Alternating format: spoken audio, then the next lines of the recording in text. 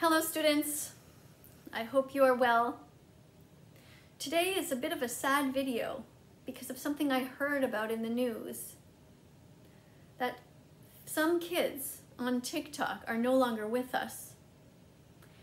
They thought it would be fun to follow a trend where they put an object around their neck and stop themselves from breathing to see how long they could last. One of them was only 10 years old. And now, she's not breathing. How did this happen? Where were the parents? Kids, there are many of you who do not actually have good parents. I'm sorry to tell you, it's not your fault. But there are so many parents out there who are not watching what you're doing, and it's not okay. There are so many parents out there who are bullies themselves, who laugh at animal rights activists like me, and who tried to get me taken down from TikTok, and teenagers. But TikTok actually needs people like me. They need adults who are going to teach you to think for yourself. When I was on TikTok, that is the number one message I gave. I talked about the animals and how we don't need to eat them, we don't need to hurt them. I talked about the planet and how we need to save this planet, and I talked about being kind to one another. When you get an app whose creators think that it's a good idea to get rid of older role models, this is the result. It's very scary. It's not okay. What should you be doing with your time? First of all, anytime that somebody tells you something, no matter what it is, like this thing is good, whatever it is, always pause. Don't judge it right away, but just pause, take the information in and ask yourself, I wonder, is that true? Is what they're saying true? So if they say something is bad, same thing. Ask yourself, I wonder if it's true. I wonder if that thing really is bad. For example, if somebody says, we should all gang up and take that vegan teacher down off of TikTok because she's trying to save animals and we don't like that. You should ask yourself, wow, I wonder if we should take her down. Maybe we shouldn't. Hmm? What other things can you think of that people have told you to do? People tell you to, to smoke drugs, to drink alcohol. These things are not good for your body. Your body is a temple. Your body should be honored. Take care of it. It's the only body you have. Take care of yourself and your mental state as well. Be kind to yourself. I'm always telling you, give yourself a hug. Why do I say that? Because you deserve love. Okay, let's do it now. You guys ready? Okay, here we go. Give yourself a big hug. I'm serious. I'm really serious. Give yourself a hug and a pat on the back and a nice squeeze. Now, when you do that, feel what you're doing. Okay, you're not just squeezing yourself. You're also getting some exercise in your arms and you're solidifying yourself. You are basically giving yourself the permission to feel safe without somebody else around. Now, why do you hug yourself? Is because many times in your life there will not be somebody else there to hug you. And if you're going to do something crazy, like think it's fun to put something around your neck and strangle yourself, maybe just think, okay, hold on, I'm gonna pause for a sec, and I'm gonna give myself a hug, and I'm just gonna sit there with myself and I'm gonna say, wonder if that's a good thing or not. Hmm. Another way to hug yourself is to go like this. Put your arms like this, your hands like this.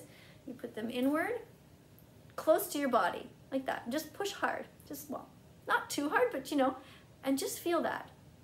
Okay, push your arms against your chest like that. That's the kind of thing you should do many times a day if you need to. If you feel like you need some love, love yourself because you're the only one who will always be there. Don't hurt yourself. Don't put things around your neck that could hurt you. Don't put death into your body. Don't put dead animals in your body. Don't put cow's milk that was stolen from a cow. Now, of course, if you're a kid watching right now or a teenager and you have no choice because your parents are crazy and they refuse to learn, it's tough.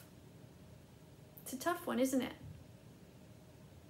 Because you don't want your parents to be mad at you. You don't want them to hurt you or kick you out of the house. I understand that. You do what you have to do to survive. Love yourself. Challenge them a little bit if you can. Especially try to teach them. Sometimes teenagers and kids are smarter than their own parents. Not always. If your parents are telling you to brush your teeth and floss your teeth and eat veggies, fruits, nuts, and seeds, that's good. But if your parents are giving you an iPad or a phone and saying, off you go, have fun, and they're not watching what you're doing, that's bad. If your parents are telling you that it's okay to eat bacon, that's bad. Bacon is in the same class as cigarettes. It's a class one carcinogen. This processed meat, like ham, hot dogs, bacon, pepperoni, all of those, they are bad for you. They cause cancer. Other kinds of meats are also not good for you, and especially not good for the animals. So, my main message here today to everybody is think for yourself and don't gang up and bully people who have gray hair and who are kind and knowledgeable and trying to help to make this world a better place for you. Think a little bit ahead. Okay? I'm not saying that everybody who's 56 and with gray hair is smart, because they're not. Sometimes there are smart people who are only 15 years old. I mean, some of them are really smart. If they're telling you to be vegan, as vegan as possible, they're smart. If those kids are telling you to eat your vegetables, to eat lentils, to eat to tofu, and to eat chickpeas and beans, they're smart. If those kids are telling you don't hurt animals, don't hurt bees, don't eat honey, don't ride horses, they're smart because they've thought ahead about why. We shouldn't exploit people and we shouldn't hurt ourselves. Don't listen to somebody if they tell you to hurt yourself. And by putting dead animals in your body, how is that good? Your body should be a garden, not a cemetery. Put fruits and vegetables in your body, not death. Treat the planet well. Don't pollute. The best thing you can do for the planet is to be vegan because you use the least amount of resources. I feel really bad for those kids. And I mean, you know, I guess that when we look back, you know, the parents are probably right now feeling bad that they didn't watch their kids. Maybe they're going to blame TikTok. It's not TikTok that's to blame. It's the parents and the people on TikTok who are not helping one another. It's really, really disturbing to see how many parents, when I would do a video, or how many adults anyway, when I would do a video talking about, hey, let's not hurt animals. And then somebody would duet that video, an adult, and be there eating chicken wings with a smile, thinking it's funny. And the example that these horrible people gave to so many children, you know, when you have adults that, that wrote an article about me that said that I had murdered somebody and that I was in jail for 10 years, that's not true. But how many kids believed it? How many people shared that? Over a half a million people. It's a lie. We need to teach people critical thinking. People should be able to look at something and say, that's not okay. And report actual people who are doing things wrong, not the people who are vegan and who are trying to make a world a better place. Just because you feel bad sometimes that we are telling you don't eat these animals, it's not a reason to ban us. That's a reason to walk up closely and say, oh, what is this person saying? Maybe I should listen. Hmm? Yeah. So, I got my cup. Here it is. Remember this cup? I show it often. Cow's milk is for baby cows, right? You know, it's in here right now, it's just water. But sometimes it's soy milk and sometimes it's oat milk. But remember, don't hurt animals and don't hurt yourself. If somebody is telling you to harm yourself or to try to stop breathing, don't listen to them. I love you guys and I want you to be safe. And I really want you to have a planet that is healthy for you as well.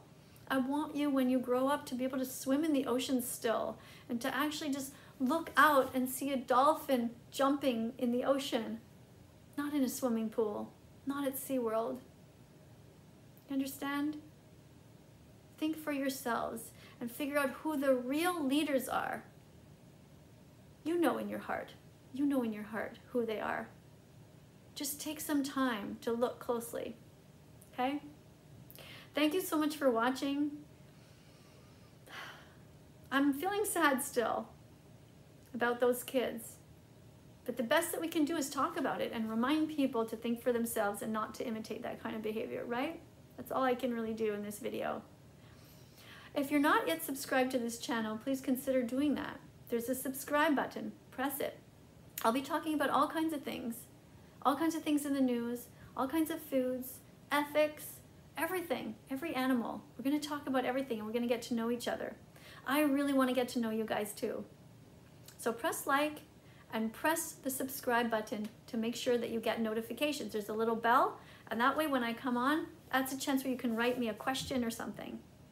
If you are here watching and you don't actually like me or what I'm saying, I invite you to go somewhere else. Just leave rather than being cruel. But really, I really think you should stay.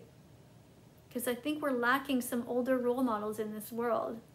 Maybe that's what you guys need. Somebody with a few wrinkles and some gray hair in your life. Kick in the bum and say, hey, guys, wake up. Hmm? I'll see you guys in the next video. All right? Go eat some healthy veggies, fruits, nuts, and seeds.